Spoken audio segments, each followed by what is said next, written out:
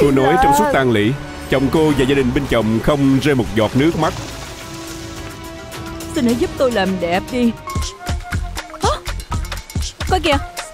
Hôm nay là 49 ngày mất của tôi. Nhưng hôm nay lại là ngày họ du lịch trở về à?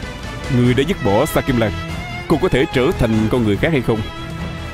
Hãy đồng hành cùng với Vina phim bộ Hàn Quốc và xem những chương trình giải trí qua dịch vụ Vina OTT.